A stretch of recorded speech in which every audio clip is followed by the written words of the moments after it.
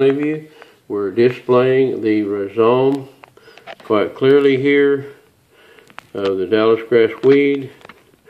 Um, every year, this same plant will come back because of this rhizome. And then, additionally, the seeds will cause other Dallis grass weeds to grow. And in order to show you, inside this stem, I'm removing the sheath of the stem so I can expose the existing seed